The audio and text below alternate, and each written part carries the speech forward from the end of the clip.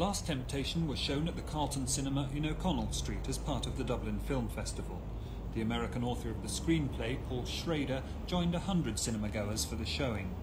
Outside the cinema, two protesters said the rosary, but the expected public demonstrations never materialised. Mostly being attended by people who are particularly interested in Paul Schrader and seeing all of his films during the festival. Have you had any complaints about the festival's decision to show the film? None at all. Patrons entering the cinema were greeted by a sign reminding them that the film was a fictional account of Christ's life.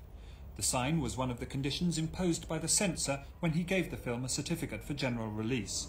Cinema chains now have to decide whether to show the film. Well, we'll decide on that in the courts of the next few days, and we'll come to a decision next Monday whether we show the film or not. We, we don't sit here as, uh, as a form of second censorship. Would you be concerned about protests against the film, such as there have been in Paris and Greece? Well, we're very conscious of the situation that happened in France and indeed in Greece. And it's against that background that we have delayed the decision to show the film. But if we do decide to show the film, we will take maximum security uh, on the house for the protection of, of the public and indeed the staff alike. After the showing, reactions from the cinema goers were mixed. I didn't see what all the fuss was about. It was a good film. I, know, I thought the whole sequence at the end was a bit pointless, and I think, I mean, Christians would find it offensive. Uh, it was a bit long. It wasn't wasn't what I thought it'd be. Don't see what all the controversy was about. You know.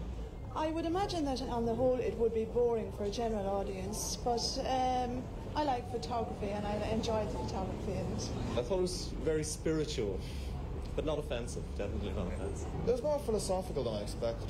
Like you get a lot of people sort of going, "Oh my God!" You know, it has, it has, you know Jesus and, and Bon Cray, shock horror, all this kind of thing. It's nothing really like it at all.